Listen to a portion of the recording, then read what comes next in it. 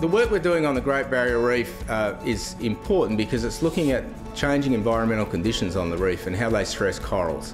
Rio Tinto has stepped up and provided us with the resources and access to its ship to make these critical measurements along the length of the Great Barrier Reef. The Rio Tinto ship that comes in is named after my great great grandfather named Wakmatha as a great great grandchild. I'm excited and I am proud. The data we collect on the ship is the only long-term uh, sustained observing along the entire length of the Great Barrier Reef. So we're getting a snapshot of how the reef conditions are changing over time in uh, a way that no other observing system is doing.